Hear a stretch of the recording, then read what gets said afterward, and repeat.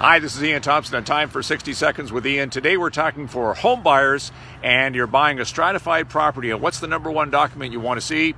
And that is a depreciation report. Remember, the depreciation report talks about the history of the building and what they're doing for repairs. They're going to hire an engineer and look out 30 years and say the roof's going to cost 200,000, the elevator is going to cost 300,000 and how are those things going to be paid for? So if you're a home buyer, if they don't have a depreciation report and there isn't a lot of money in the contingency reserve fund, the only other place they're going to get the money is from you as the new buyer. So be aware when buying a stratified property, always ask for the depreciation report and understand what you're looking at. It can make a huge difference in your buying experience. Okay?